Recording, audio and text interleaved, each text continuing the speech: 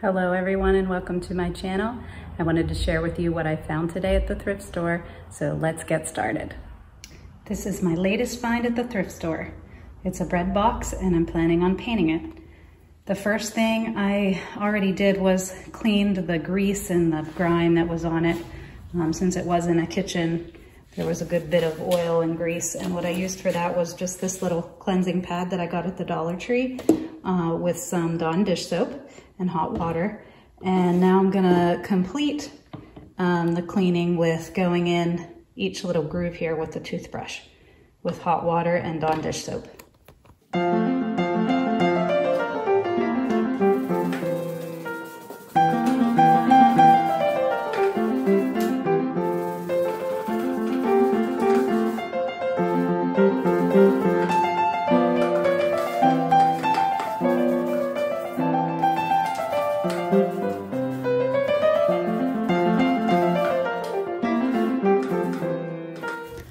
Going to use 120 grit sandpaper to scuff up to prepare for the paint.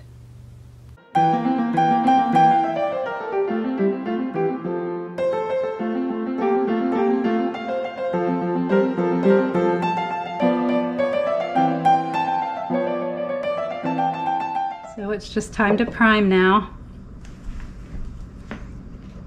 Taking just an all-purpose primer after I have cleaned, I've wiped down all that dust from sanding off.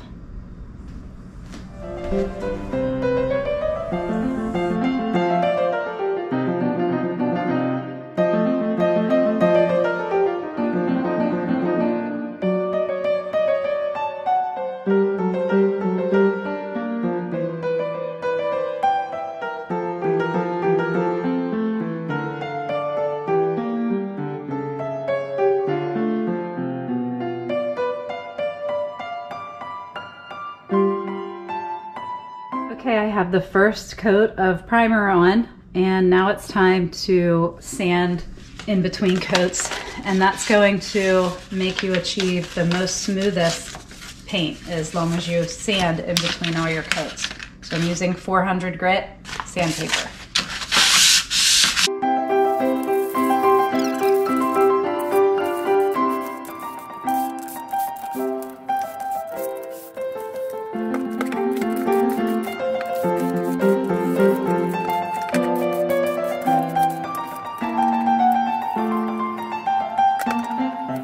It's time to just wipe it down with a rag. I usually use an old t-shirt to do that, to get the dust off.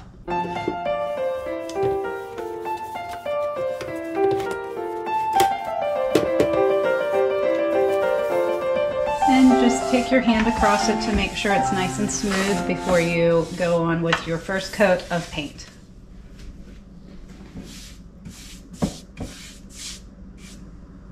This is just a sample that I got at Lowe's. It's just a neutral white.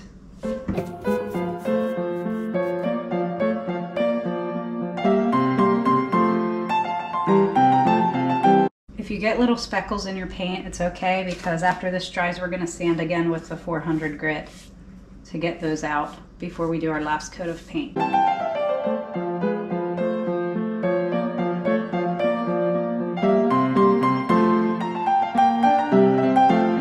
Just let a little bit of that dry and then we'll come back to it.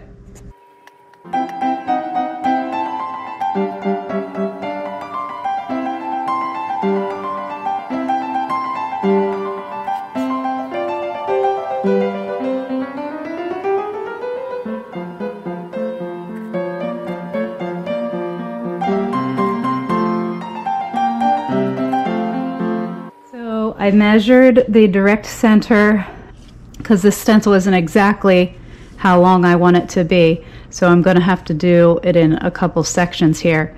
But I'm going to start with this little swirly section and go with just the line and then I'm going to move these to the corner.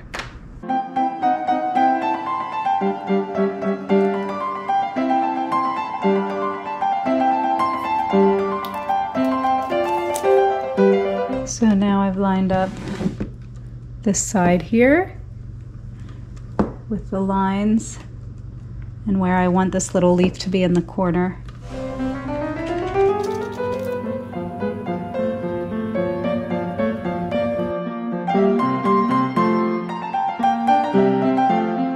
And since it's not sitting flat because of it being in the corner here, I really have to press down on the stencil.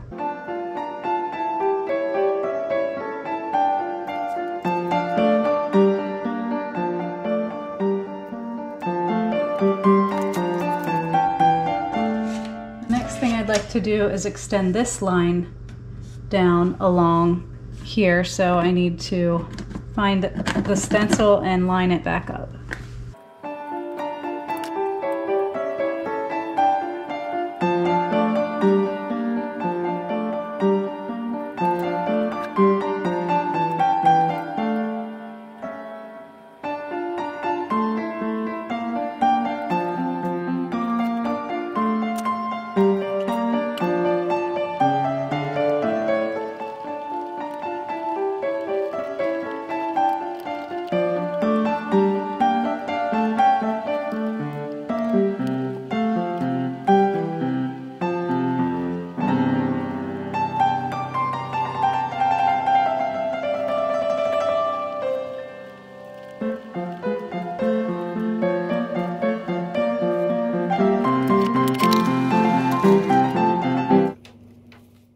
When you run into a roadblock, don't think there isn't a way out or through it. In the Old Testaments, when the Israelites fled Egypt, they got to the ocean and the army was behind them. They thought there was no way out. But God made a way. He did the impossible and parted the sea. Remember, there is always a way. I didn't have a stencil for lettering this small. I printed out on my printer the style of lettering I wanted and flipped the page over and held it up to a window. I traced in dark pencil the back side of the letters. And now I'm going to trace it onto the box. And hopefully it will transfer onto the back. I'm not sure if it will work or not, but I'm going to try it. Okay, so it is working. And that will give me a guide for when I go to paint.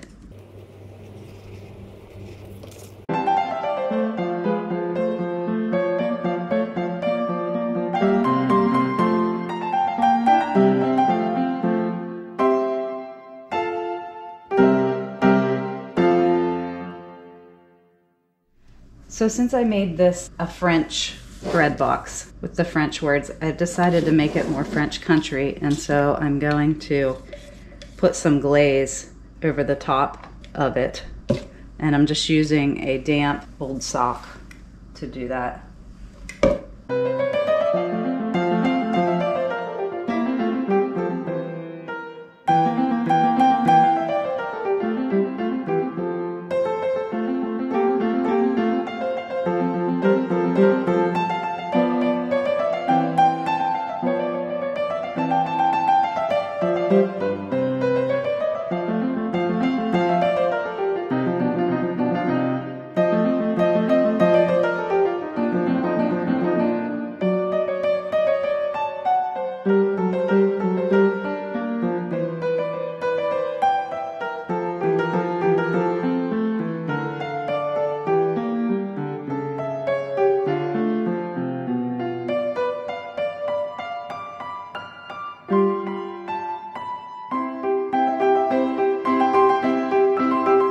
So I've sanded everything again and now I'm going to give it a coat of polyacrylic.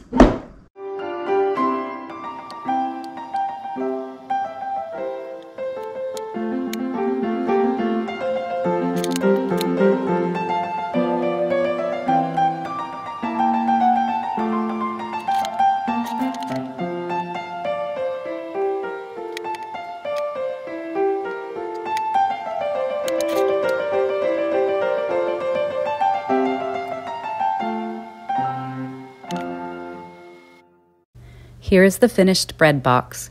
Remember to like and subscribe to my channel. Thanks for watching.